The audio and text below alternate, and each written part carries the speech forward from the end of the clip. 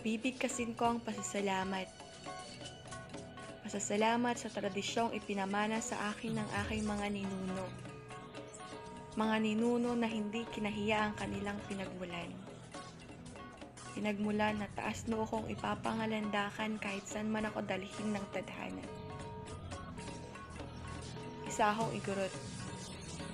Isang batang lumaki sa kabundukan.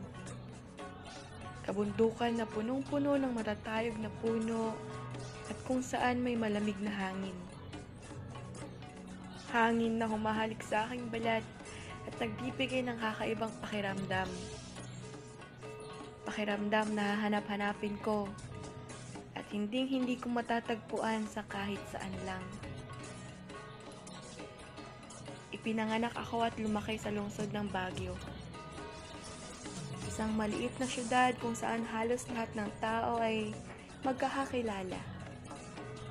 Isang paraiso na lahat ay may koneksyon sa bawat isa. Ngayong uncle mo ay uncle pala ng tito ko. O yung lolo mo ay barkada pala ng lola ko.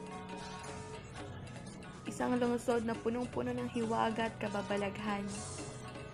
Misteryo, kasaysayan at mga kwentong hindi pangkaraniwan.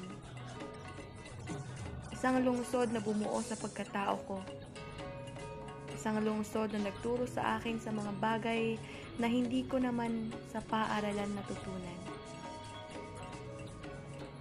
Isa akong igurot at lagi ko yang ipagmamalaki.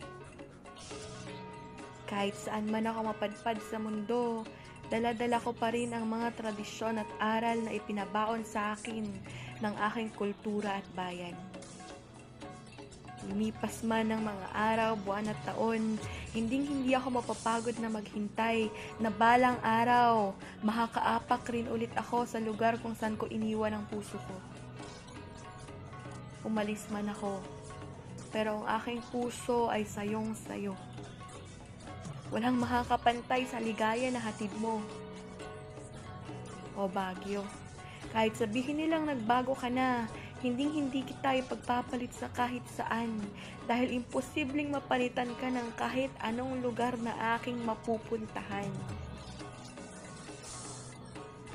Ang pabaong tradisyon at kultura pinapangako kong ipapasa sa mga nakababata.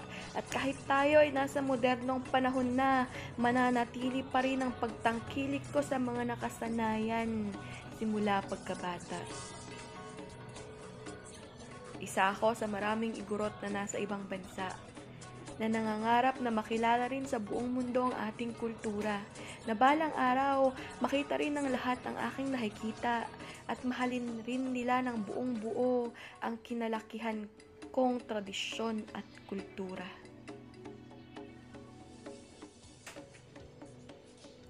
I am an Igorot, born and raised amidst the green mountains filled with pine trees, swaying to the cold breeze.